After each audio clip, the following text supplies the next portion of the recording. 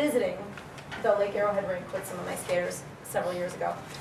And I noticed that there was all this high-intensity training going on and all um, great, you know, great technical information was being imparted on these kids. And everything looked good. I mean, these are elite athletes, except that people were miserable.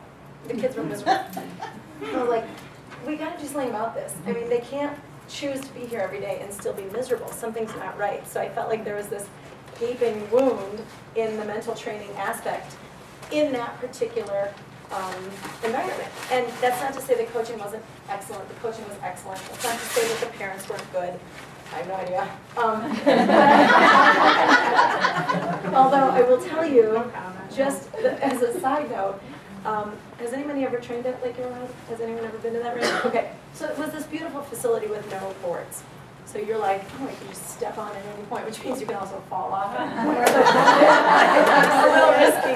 Um, but there were there were ficus trees, like you know, bench tree, bench tree, bench tree, and um, there was a particularly um, hovery mom, and she would hide behind the trees, thinking her kid couldn't see her. So, so she like this, and then the tree would move, and then the tree would move. And anyway, so at one point, the girl was in a lesson with me, and she's like, I know that tree's moving because my mom was behind it, first of all. But anyway, so there might have been some weird parent drama going on. I just, just maybe, maybe, I don't know. Um, but I also, speaking of that, I think I just want to say that we all contribute to our training environments.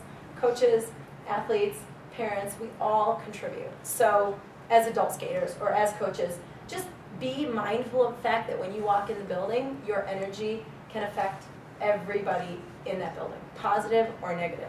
And I really feel like that's an important message because everybody has bad days. Coaches have bad days, skaters have bad days, parents have lots of bad days. um, and really it's up to us to make that conscientious choice to walk in and not make it a bad day. That being said, how many people are involved in the skating world by choice? There's not one person in this room that's forced to be there, right? Okay, so when you walk in the door, regardless of your role, remember that that is your choice. Um, I had a really, I don't know if you call her wise, she was a really neat boss, um, one of my first skating director bosses. And it was before I decided that skating um, coaching was going to be a career for me. It was when I was still like had a foot in both worlds, in the science world and in the coaching world. And I walked in the building one day, and I was just exhausted because I was working overnights at a hospital, uh, dancing and emceeing at bar mitzvahs. That's a side note. And then teaching some ice skating. So I know, right? So um, I walked in the door, and I was just like, I think I looked like I was just dragging my own ass around. I mean, that's literally what I think I looked like. She's like, How are you? And I said, Oh, I'm tired. You know, I just started like kind of whinging. That's the Australian word I, I learned for not being right. Um, and she's like, you know, you're here by choice. So if you want to wake up tomorrow and change your whole paradigm, change it. Do something different. Don't come here and complain about what you've done or what you're going to do or what you're doing. Just be here, be present, and and make the the effort to enjoy every moment of what you're doing. So I pass that message on um, to everybody I ever talk to because I think it's such a key thing is that particularly with skating, this is a choice, whether you're a skater or a coach. Many, many coaches have skill sets that reach far beyond teaching ice skating. So if you don't love what you're doing and you can't do it well and you don't make people happy, just go do something else.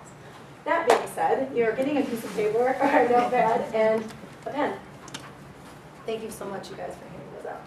Um, I should have decided that this is what we were going to do before right now, but usually when things come to me on the fly, they end up being really awesome. So we're going to do this small activity uh, that we did last week with my other campers, and it turned out amazing. So we're going to see if we can beat them. We're going to top them.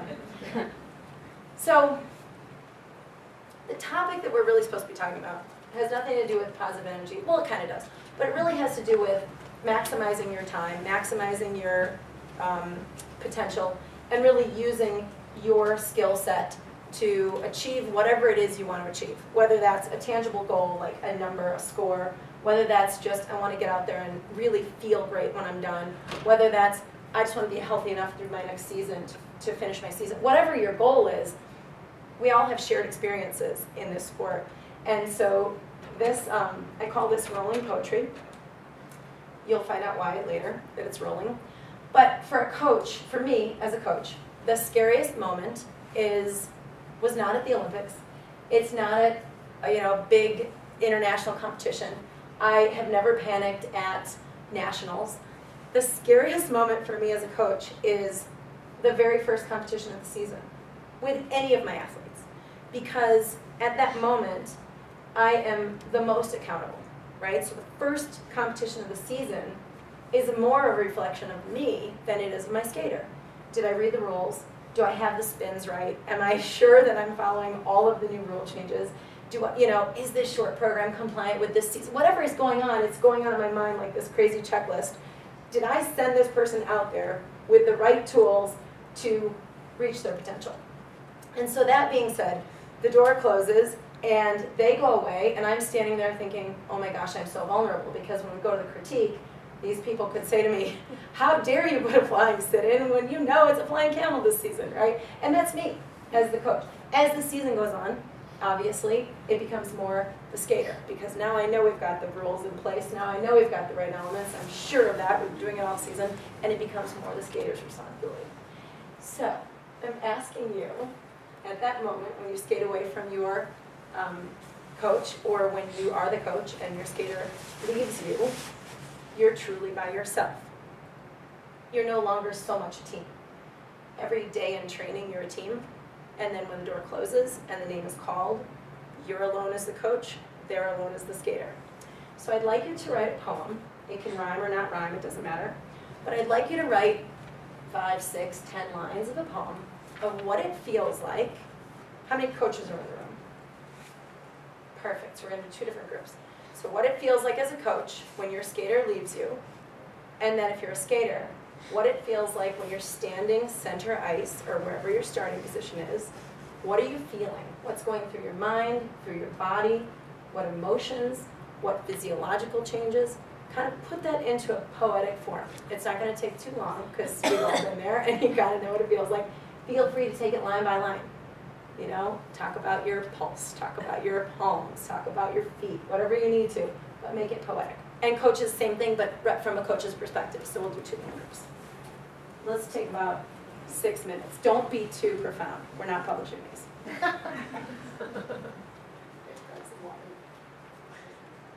the first line of your poem should be, I stand alone. Start with that. Okay, so raise your hand if you're a skater. We're going to leave coaches out of this first one, skaters. Okay, so skaters, we're going to count off by threes. Keep your hands up so we can count off by threes. So let's go one, two, three, one, two, three, one, two, three, one, two, three, one, two. Skater coach. Coach, fine. Okay, so all the ones, come on up. I don't know, just be a one. You could be a two and a three, it doesn't make a difference. The, the most beautiful, you could be whatever We you just want know to be. that there were no fours, okay? If anybody's a four, you're out of here. That's a lot of ones. How did that happen? Okay, so here's what we're gonna do. Each one of you is gonna say the first line, and then each one of you is gonna say the second line, and then each one of you is gonna say the third line, like that. The first line we're gonna start with is I stand alone. So each one of you say that, and then read your first line, your first line, your first line. Okay, let's see how this goes. I stand alone. I stand alone. I stand alone. I Stand alone.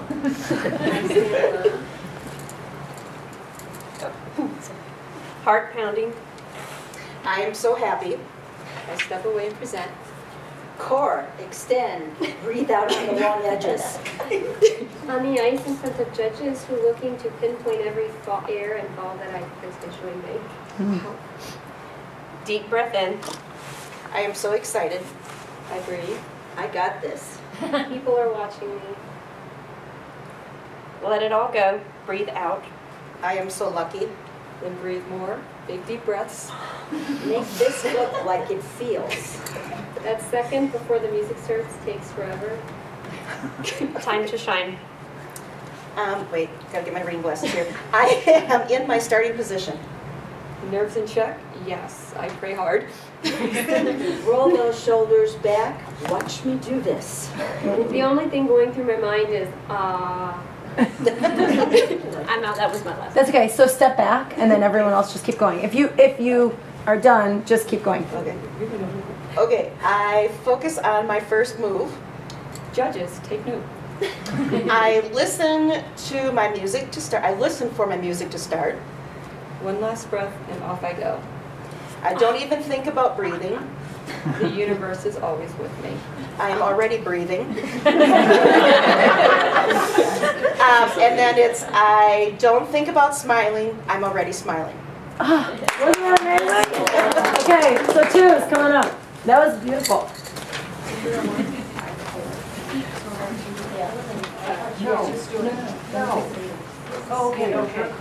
Oh yeah, just skaters still. We're gonna try the. I've never done it with coaches. We'll see how it goes. Okay, I stand alone is the first thing. I stand alone. I stand alone. I stand alone. I stand alone. I stand alone. Limbs weak, stomach queasy. I can do it. Ready to conquer my camel and land my Lutz? Question mark. Okay, I can do this. Just me and the ice. Why am I here? I don't need to do this. Remember to breathe.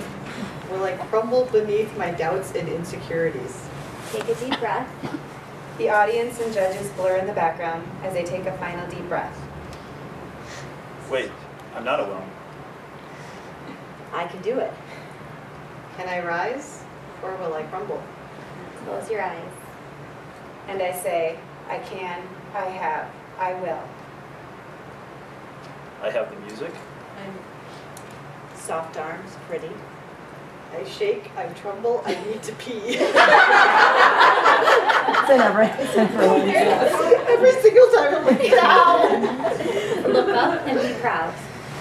The music starts and the feeling of gliding, air rushing by. And I have my partner, I hope. Breathe. Judges' pens are poised, eyes are alert.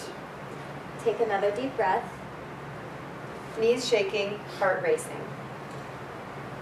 But I don't feel alone because I hear your words in my head and I know you are skating every moment.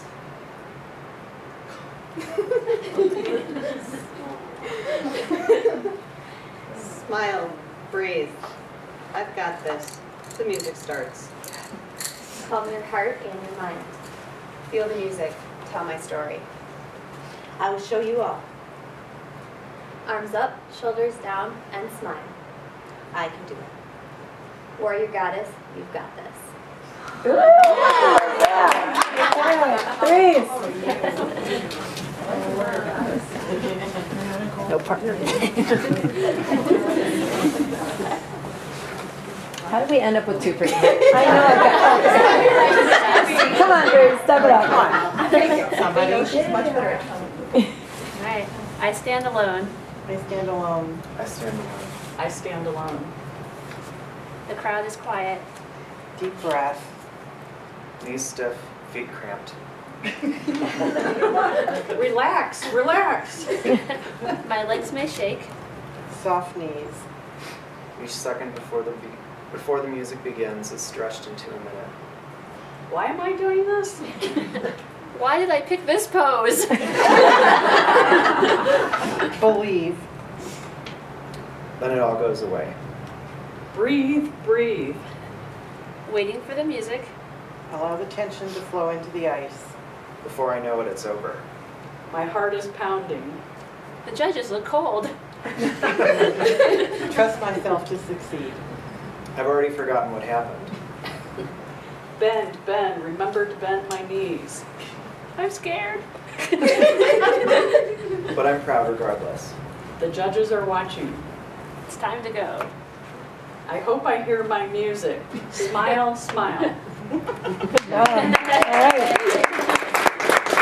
All right, coaches, let's see what you came up with.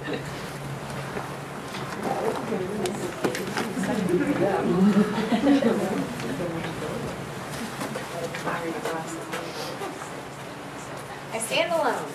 I stand alone. I stand alone. I stand alone. I stand alone. Waiting for her music to start. Is she prepared? Stepping up to the door. She leaves my side and takes the ice. Sending her positive vibes.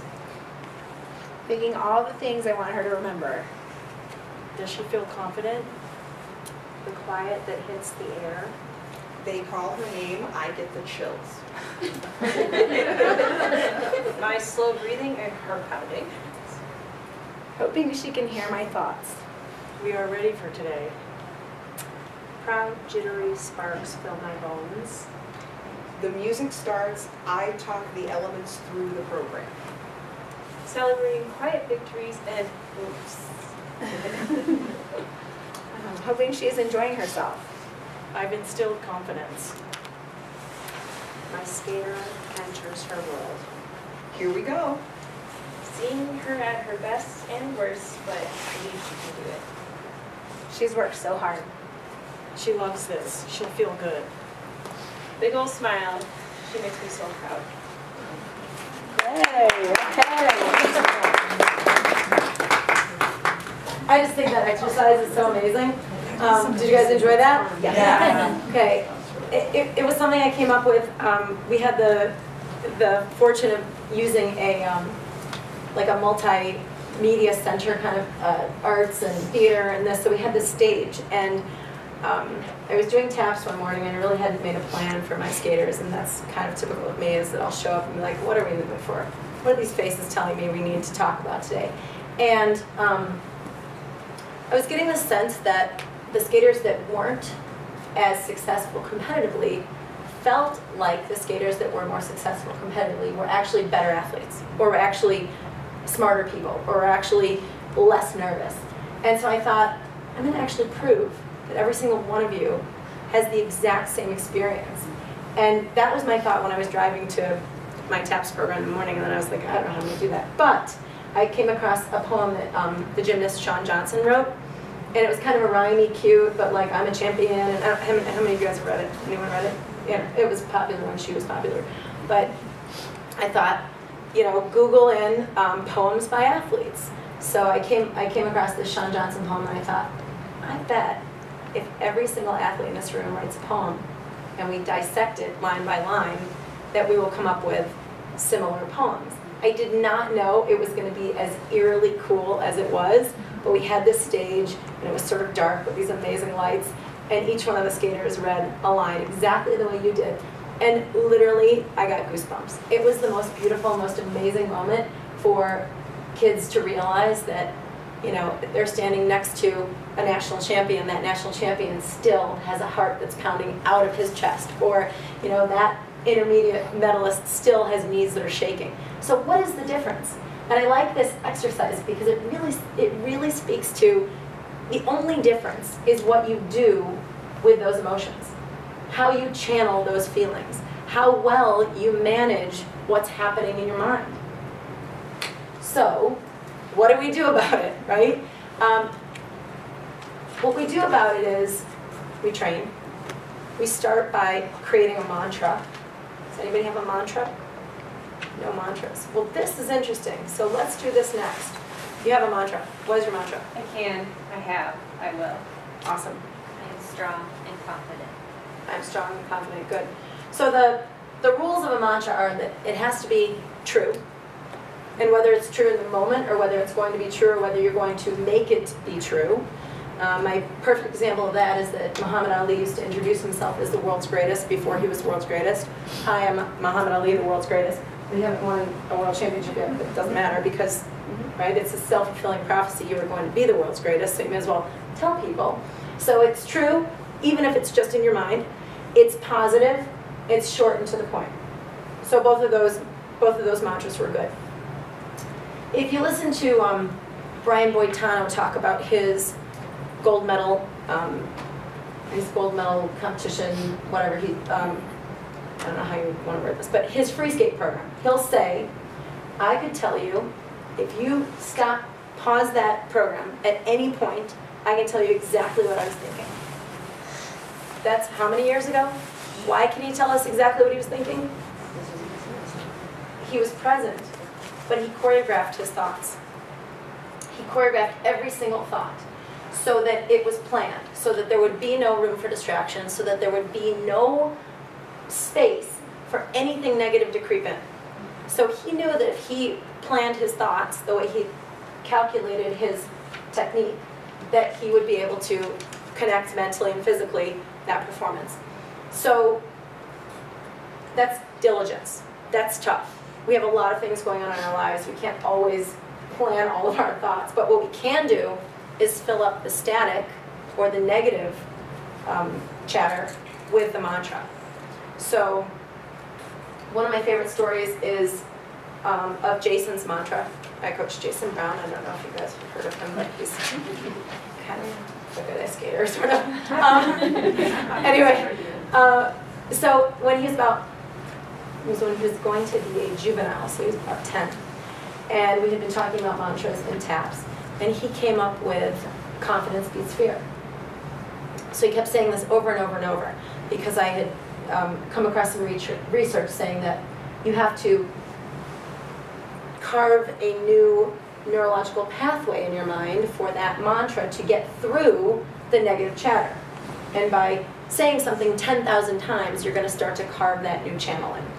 Um, it's like opening up a receptor. It's like telling yourself there's new information that needs to um, supersede all the old information. So confidence beats fear is what he would say because um, you may or may not have read about Jason and his competitive anxieties as a youngster, but he would cry, he would pace, he would throw up, he would leave, he would, I had to trick him into competing when he was little, like literally, oh, we're just gonna sign up for it, but you know what, we won't show up, don't worry about it, we're just gonna know that it's there in case you want, I mean, for a long time.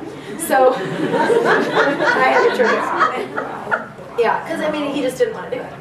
So, so anyway, confidence beats fear was the sponsor that he had come up with. And um, he was going to do the double axel for the first time at junior nationals. And he had said confidence beats fear over and over and over. So about a month before junior nationals, I said, you know what? It's way beyond confidence at this point. It's preparation. So how would you feel if we changed that first word to preparation beats fear? Because preparation is even more powerful than confidence. Because preparation, you have data for. We've written it down you can see it in your notebook. It's tangible. And confidence is sort of this intangible thing that's floating out there in space that you may or may not believe you have based on the day or your mood or what you ate the night before, right? so about a month before I started preparing him for the idea that preparation beats fear might be more powerful. And he wanted to think about it, so he like slept on it and came back the next day and he's like, I really like that this is a 10 year old kid, I really like that. I think that's going to work for me. I'm going to go ahead and change it to preparation beats fear. And he changed it and he won ju juvenile nationals that year. And he uh, came off the ice and he said, thank goodness preparation was the word I used because I wasn't feeling confident. So I thought, awesome. You have to be flexible in your mantra and you have to be able to think in the moment. Think about what's what the most important thing is. I also started to doubt the word confidence because you as an athlete may not be confident when you go out there. You may not feel like you've done what you need to do. So you need to come up with some other means by which you're going to find your competitive fire. So I'd like you to write down a mantra before we continue with, write down a mantra, yeah. Positive, present, true, short and to the point. I don't like the I will be a champion because that's not right here, right now, as I'm entering my double flip. You may not be a champion. I like the, you know, power, fierce. I like words that are just, you can just say them, you can believe them, you can feel them. They take the place of anything that might have to do with your technique. Don't really want you thinking about where your shoulder is supposed to be going into your double flip by that point. It's not there, it's not there, it's probably not going to be there, so don't worry about it. So as a coach, is this, is this you for your coach, or is this you, your coach for your student? I think as a coach, I would say come up with, you know, mantras for each of your athletes. Right now, come up with what you think would be appropriate for them. Because again, I feel as a coach that it's our job to meet them where they are. And so the better we know our athletes, the more we can meet them where they are. Not everybody, you know, not every athlete is going to react the same to different words. So I would write one for each of my skaters. Then have them write one and see if you guys come up with similar terminology. Do we have some mantras? Do we want to share our mantras really quickly? Anybody? Yeah, I will do this. I will do this. How about I do this? Because will means it's going to happen in the future, but I do this means it's happening right now. I'm like, yeah, I can do this. Not I can. I will. No, I do this. do. I do this. In this moment, I do this. Because if you will yourself to do it, then you're saying, oh, I hope it's, you know, I hope it happens. Mm-hmm. I'm still giving myself room for it not to happen if I say I will. I don't want to give myself any room. I want to say, I do this. Power and strength. I want to use all of my best attributes to convince myself without having to convince myself that I've got this. Any, any others? Yeah. I define my goals, I'm responsible for my joy. I love that. Now let's shorten it so that when you're on the ice, you don't have to go through all that. So, I can't text and no, you can't, you can't. Because look, listen, if you say, I define, okay, does it matter what you're defining? Yeah. Right, you're defining, you're defining you, you're defining your, your package on the ice, you're defining your, you're defining everything about yourself. So I define, and then what was the second part? I'm responsible for my joy, I define my joy, my joy. my joy. That's it. I love it. Okay. And through every moment of that program while you're on the ice skating, you're defining your joy. That's amazing. Okay. I don't feel ready, but that's okay. Oh. Is that positive? Mm. Well, so I, I don't know, I've been saying it the last year or so, but just because like, you're jittery, you're. Yeah. So I don't feel ready, but letting myself, okay, this is a normal feeling. It is normal. And then it allows me to relax and stop thinking the perfectionist in me. Okay, so okay, so you're almost giving yourself an opportunity to not be okay. Mm-hmm. Can we come up with a way for you not to let yourself off the hook? Let's talk about this for a second. This is huge. This is huge. Okay, I have realized there's this thing where people are afraid to be vulnerable. They're afraid to say, I've busted my for six months getting ready for this. It's like you play it off. Sorry, camera, if you're on. I'm gonna say this. Um, You're, we're all adults, right? Yeah. Um, I would not say that in a group of young athletes, just so you know. Um, but you're afraid to say that. So instead of saying that, you say, well, you know, I just want to fun. Come on. If you put it all in, say you've put it all in. One of the most powerful things is admitting your vulnerabilities. Because if you admit that you're vulnerable, then you've accepted the worst case scenario. The worst case scenario is that all of that effort doesn't pay off, but at least you've accepted it. So looking at your fears in their face and saying, the very worst thing that could happen right now is something I'm willing to accept. Doing that is so empowering. If you play it off, or if you don't put your 100% into every single training day, you're giving yourself an out. You're giving yourself room to not be vulnerable, which means you're giving yourself room to not be successful. You cannot give yourself space. You can't. You give yourself that space and you will never achieve your potential. You might achieve your goals, but that's not your potential. Right? Goals and potential are not the same thing. So give yourself an opportunity to feel what it's like to publicly say, I'm vulnerable. Yes, I have worked as hard as I could possibly work. Yes, I have sacrificed. Yes, I have put everything into what I'm doing. And if that's the truth, admit that that's the truth. And feel that vulnerability because that is a scarier feeling than stepping out on the ice to do what you've trained yourself to do. And if you can make that a scarier feeling, then the stepping out on the ice is just stepping out on the ice and going through the motions of what you've already done. Does that make sense? Doing that, I think is, is, I can tell you it's very positive because I've experienced athletes who have accepted that. Um, one of my favorite moments was with Jordan Moeller. I don't know if you've heard of Jordan Moeller, but he's intermediate silver medalist. and- Yeah, okay. my club. Oh, perfect. Okay, so he's also one of my skaters. And um, I don't know. I mean, I think you guys know Jason and Jordan, but anyway. Um, we're just living in our humble little rink and our little bubble, and uh, come visit us if you'd like. Uh, and then you can see these guys train. But anyway, Jordan, um, Jordan and I were at Junior Worlds, and Jordan was the third guy on a three-man team, which means the other two guys were supposed to carry it. Jordan was the guy that made it because he was junior silver medalist, and Shotaro Omori and um, Nathan, Nathan, um, yeah, were. Uh, Shotaro had been junior world bronze medalist the year before, and Nathan won everything that everybody ever put in front of him by 30 points. So Jordan was the third guy. So we went there with the message, and in hindsight, I'm like, I gotta change this as, as a coach. I gotta make, make sure that I don't fall into this trap again. But Jordan has a lot of competitive anxiety, so in my mind, the strategy for helping him was, don't worry, you're the third man on a three-man team. You're not supposed to carry it. You're supposed to go there and get your experience, which I thought was going to be an empowering message for him because, yeah, I need world, you know, junior world experience. I need my points. This is sort of about me this year. I don't have to to um, do it for my country because they're not looking at me for earning the third spot next year.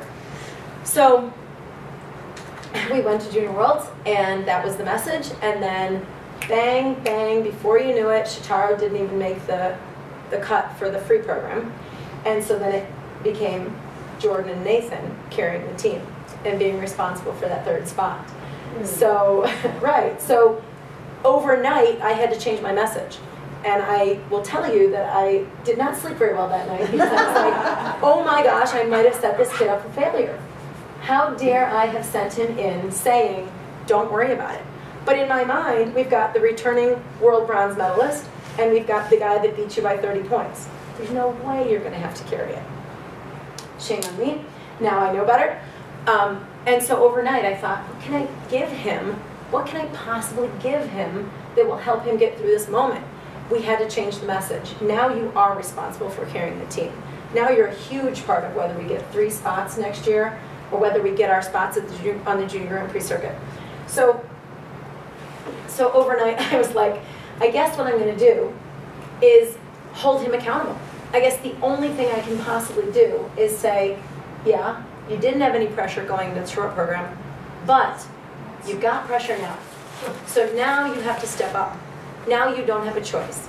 Now you're put in that little mental conundrum where you can't get out. There's nothing you can do but step up and own it and be the best version of yourself that you can be.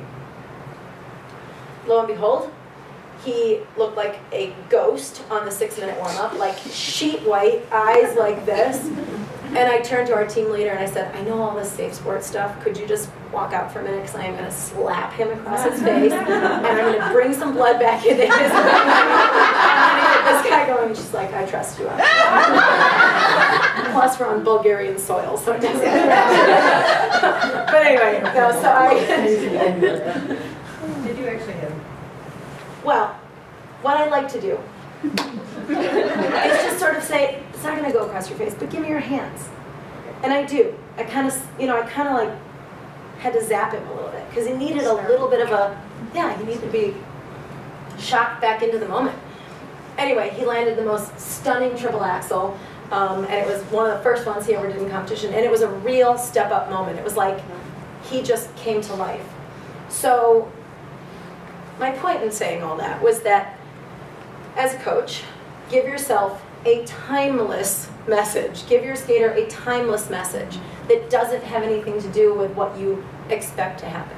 So you have to expect the unexpected you have to be prepared for what you don't think is going to happen. And as a skater, don't set, your, set yourself up for successes or failures. Don't say to yourself, that's my hard element, so I better focus on that one. But that's my easy element because guess what? you're gonna screw up the easy element. It always happens. How many people have had that experience? You go out there and you focus so, of course you have. You focus so hard on the hard stuff that you forget that the easy stuff shouldn't be taken for granted. So when we're training programs, one of our little secrets is that we treat jumps like choreography. There's no difference between an axel and, you know, a series of turns, right? Your body still has to be accountable for where it has to be, when it has to be there, how it has to be there, the timing of it. It's exactly the same as choreography. So if you can de-emphasize those jumps by saying this jump is just a moment in the program where I have choreographed leaving the ice. Big deal, right? It doesn't feel so crazy. It feels like it's a part of it. So one of the things that we do to make sure that that actually comes true, comes to life, is train those sections of the program. So everybody here train sections? How do you train sections? Give me an idea of how you train a section. How would you train a section? Well, first we define the section. Okay, Um, point A to point B. Right, and then, I guess, start out with a section and just go through it. Okay, Yeah. Each section, for me, for my skaters, each section has uh, two jumps and one spin. At least two jumps, at least one spin. The footwork sequence is part of the section. It has to be done within the section. good. That's great, to make sure that you cover those bases and they can segue from a jump to a spin and a spin to a jump. Good. Anybody else? Any other? Yeah. You train the element before the element we want to focus on, and the element following with all the steps in between is emphasizing important. Okay, great. Yeah. How about what you're feeling during that section? Okay, good. Train the emotion. Good. Breathing? Let's train the breathing? Choreograph breathing, perfect. So what I like to do is, even though a skater will say, you know, this is my first section, I like to change that bracket three times a week. And I like to say, well, that's nice, but now this is your section. So if these were your sections before, now here are your sections. So that now we're overlapping different areas of the program. And then I like to start with things that are unusual to start with. So it's like starting with an and. Instead of starting with, you know, a crossover, let's start with what happens after the crossover, or what happens after the exit of the spin. Things that are unusual sections, because at any point in the program, they, they may have to pick up where something didn't work. A trip, right? We're gonna choreograph in, in our training, that you tripped over that crossover. So what happens after that crossover? Where usually you'd start with the crossover, boom, boom, boom, and then you go. What happens if that crossover isn't there? And now you have to start without the crossover. So just kind of switch it up in your mind and prepare for all of those things that may happen. Now, that doesn't mean, that doesn't mean obsess over the potential for failure. That means prepare yourself for little pitfalls, little stumbles, moments in time where you may not be able to catch your breath, moments in time where you may be distracted. Maybe it's as simple as a distraction, you know? Maybe that something caught your eye and that crossover didn't happen the way it normally happens, and so you're not right on the music where you're supposed to be on the music. The other thing that we like to do is consistency. So when we're talking about preparation, consistency is a huge part of preparation. I like things in threes, even though I'm totally an even number person. I don't know why, but I like things in threes. I'm going to give you an example. I thought that was a whiteboard. I got really excited for one second because I was going to draw for you. I have to draw. Um, this is part of what I do. So here's a here's one um, game that I created. It's called the 5-10 rule. So you're going to give yourself three opportunities to do an element. Let's say that's an axel. Okay, three chances. You do it the first time, it's great. The second time is great. The third time is great. You got 100%. Because each of those three was worth 33.3%. Let's say you missed the first one. Oh man. Now, you've still done three, and now your percentage is what? 66.6%. My favorite game to play with athletes is add another one. The best you can do is going to be what? 75%. It's the best you can do because you've already screwed up that guy. You've already lost 25% out of four. So I'm going to give you an opportunity to do another one. if you do that next one and you're successful and you have 75%, you may go, yes, 60 to 75% in one jump, that's pretty sweet numbers. Every single elite athlete that I've ever done this experiment with has taken the risk. If you take the risk, you're only going to go up by what? 5%. But if you lose it, you're going to go down by what? So you have a chance to go from 75 to 80, or you have a chance to go from 75 down to 60%. And every single elite athlete takes that risk. Takes that risk. So what does that tell you? They are risk takers.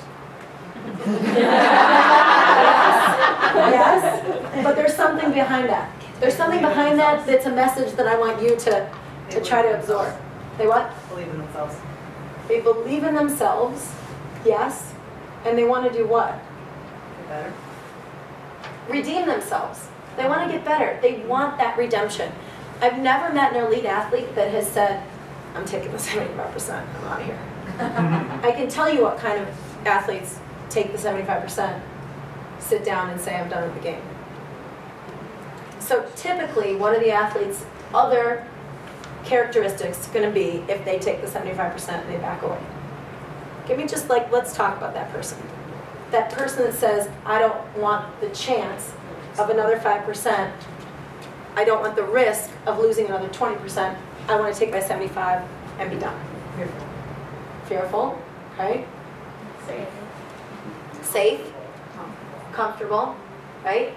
So these are the same people that would rather say, Whew, I did one, I'm done for the day. I want to leave it on a high note. Same personality.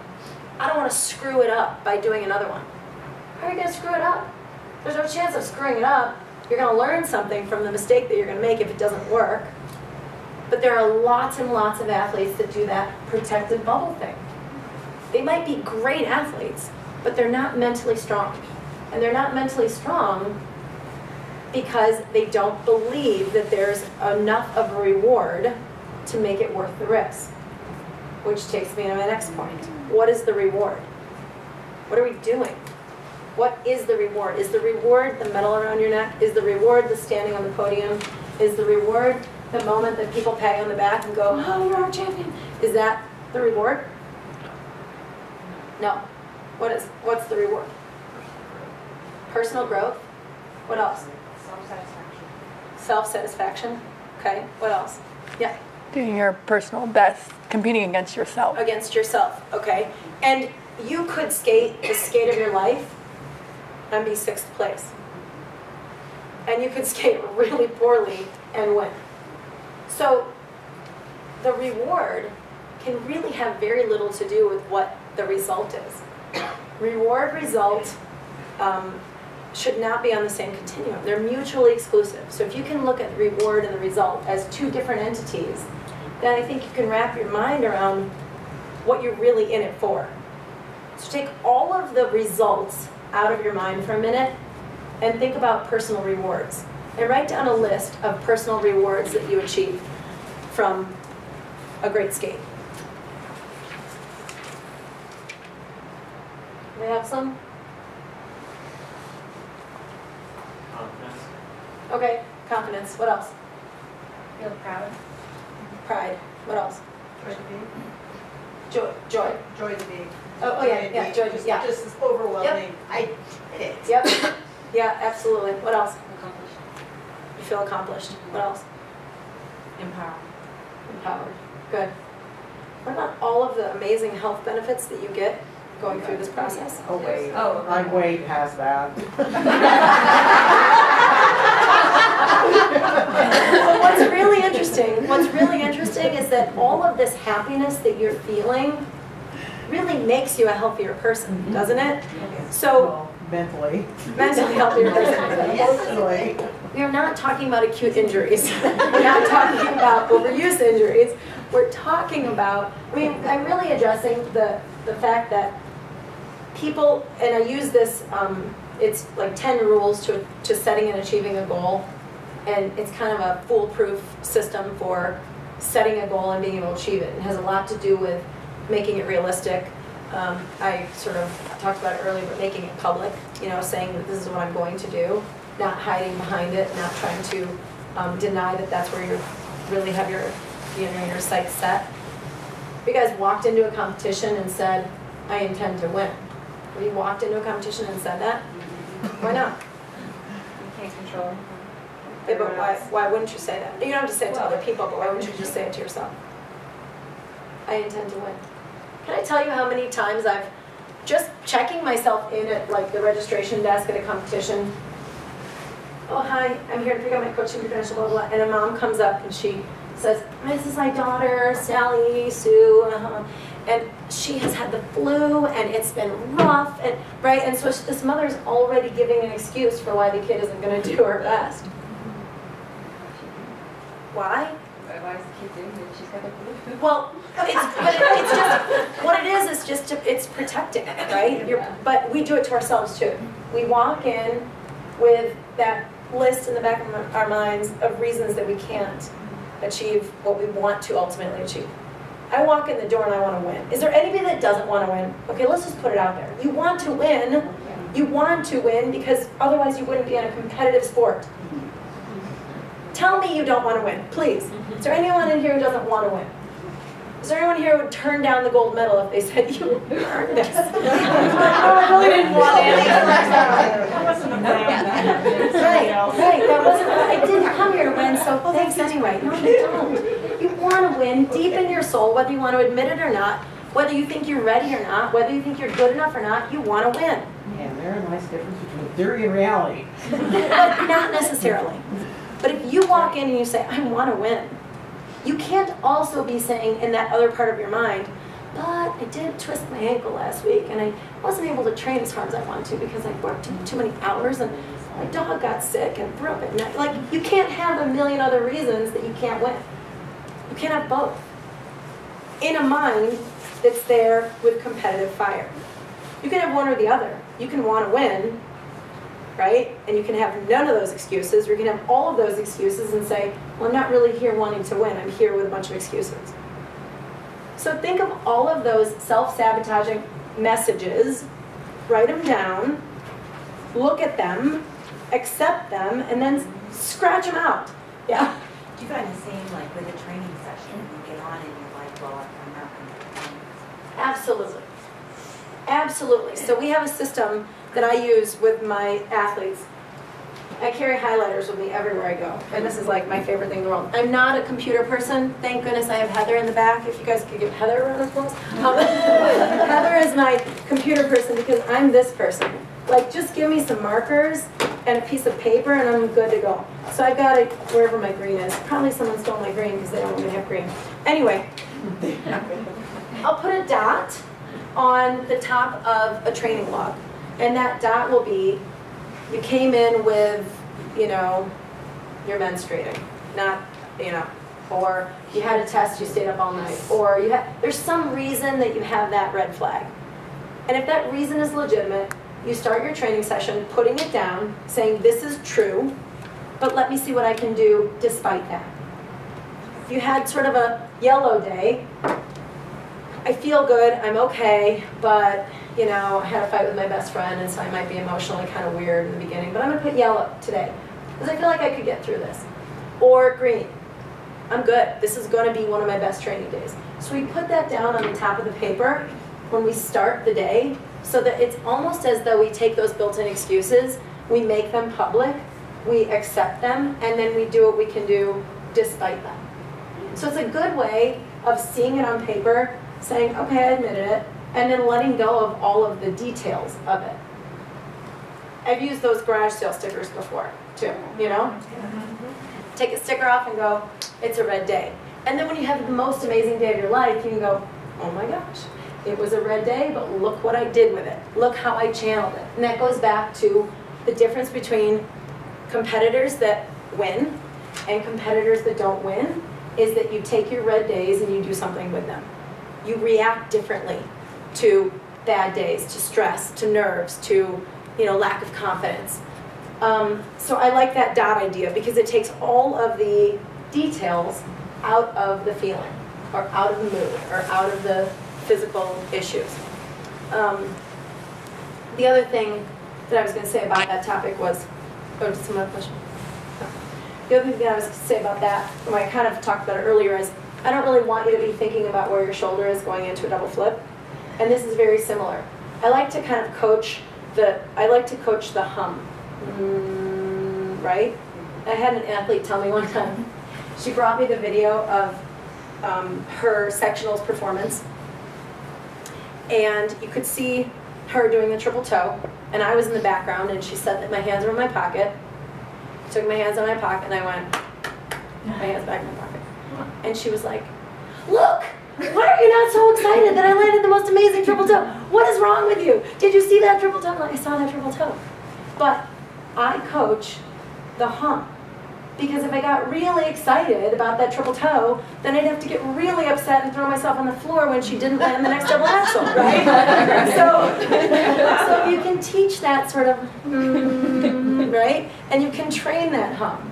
And everything is a hum, then nothing gets too far away from normal. So Brian Orser and I have talked a lot about his theatrics, and he says, well, that's what keeps me normal. That movement is what keeps me normal.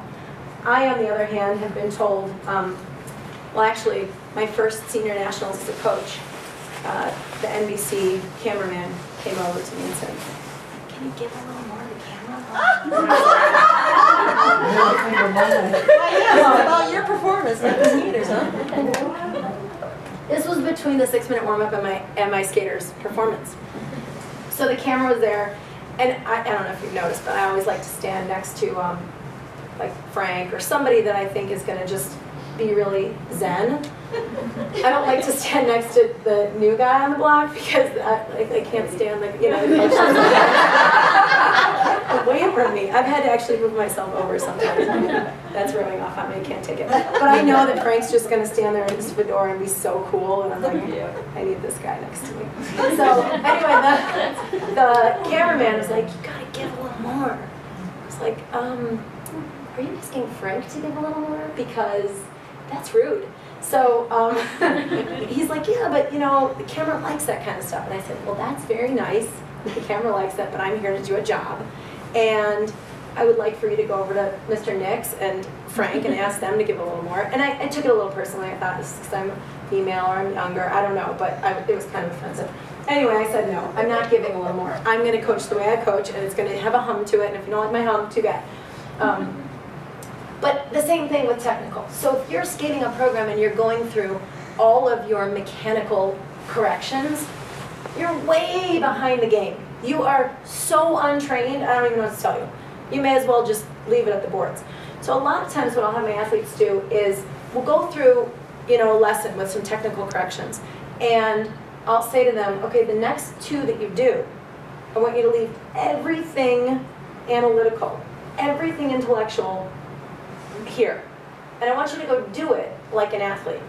Don't worry about any correction we've talked about.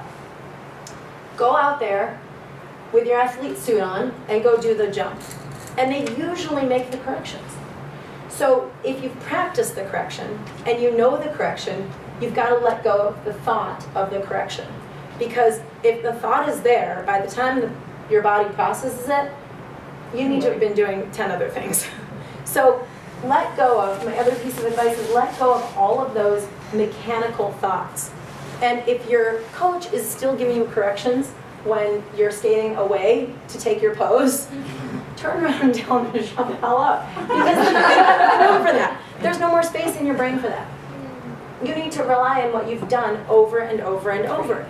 And again, if you haven't done it over and over and over, and you haven't played these games with yourself, and you haven't tried to go for the 80%, then you haven't trained hard enough. You haven't prepared yourself the right way. How am I on time? Keep going. Keep going. Okay, just keep going. Stay going. Okay. Um, the, the last thing that I wanted to say is when you're making a correction, when you're training a correction, train a specific correction. Pinpoint the thing that you're setting your goal to be. Um, is anybody coming to our adult camp? We're gonna do this cool thing that's called a cone game. Okay, if not a lot of people are, I'm gonna talk about it now, because then you'll get to do it when you come to camp.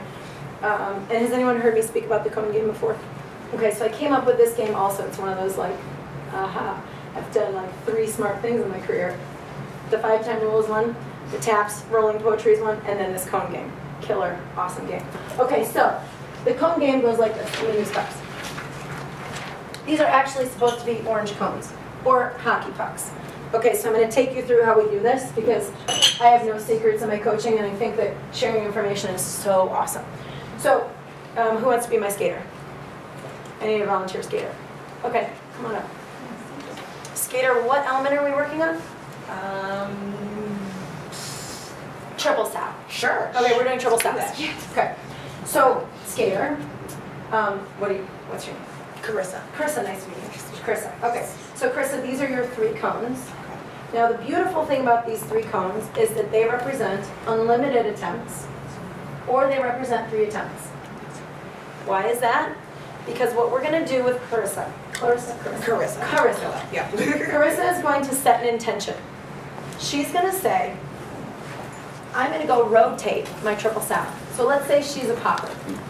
You're a popper, I'm sorry, just for now. Okay. You won't be a popper when you leave. Right. Chris is gonna rotate her triple sound. So she's gonna take this cone off the pile and say, I am going to rotate my triple sound. She's gonna move it over. Okay, so I want you to actually physically take it off and say those words. I'm going to rotate my triple sow. Okay, good. All right, then she's gonna go out and da-da-da-da-da-da-da-da, and she's gonna get there and she's gonna drive by it. Oh, Carissa, I'm Boo. sorry. Okay. That's gone. Too bad for you. Okay. But if she did it, it would recycle itself back into the attempts pile. Once those three cones are gone, they're gone. That's all you get to do for that session. You can come back and recone yourself on the next session, but you can't get them back on that session. So now you're gonna do it again. Go ahead. So I'm going to rotate my triple sow. Good. And I make them say it and do the physical act of moving the cone, because for me, it's setting an intention. I'm setting an intention, and I'm going to follow through. Okay, this time she skates out and she rotates. You guys, round of applause. Good job. We put it back on the pile, and then we say, okay, but we want to make some progress in this jump. So now we don't want to just rotate it. We want to rotate it, and you're allowed to fall, but you have to fall inside your circle. You have to fall over your skating side. Okay, so she's gonna fall down, but it has to be inside the circle. So she goes and she does it. So you're gonna say, I'm gonna rotate my triple sow, I'm gonna fall inside the circle. I'm going to rotate my triple sow and I'm going to fall inside the circle. Okay, good. Excellent. She goes and does it, but she falls outside the circle. Oh, I'm sorry. It was a good try. At least you rotated. But you still lost it because we said specifically the correction was fall inside the circle. Now, we are, we're down to one, but remember this could be a thousand attempts if she continues to make the correction. When we're down to one, I'm going to give her the power to tell me what she can do. I'm not going to do it anymore as the coach. I'm going to let her say, this is what I, I'm capable of doing in order to continue my attempts. So she may go back to saying, I just want to rotate one. Doesn't matter what happens, I just want to rotate it. Or she may say, no, I'm pretty confident this time I can fall inside this circle. So what do you want to do? Uh, this time I want to rotate the triple sow. I want to fall inside my circle, but then I want to like ice cream scoop and change my mind and land it. Okay, awesome. That's a huge intention. So go ahead and say it, do it. I'm going to rotate my triple sow. I'm going to fall inside my circle and then ice cream scoop change my mind. Awesome. I can't wait to see this. so she goes and she does it, and that's great. Wow, oh my gosh, you made such an amazing correction. You get it back. Do you want to do the same thing again, or do you want to go forward a little bit or come backward a little bit? Do you want to lose the change my mind part? Or do you just want to tell me that you want to be on one foot, because you were just on one foot, right? Yeah.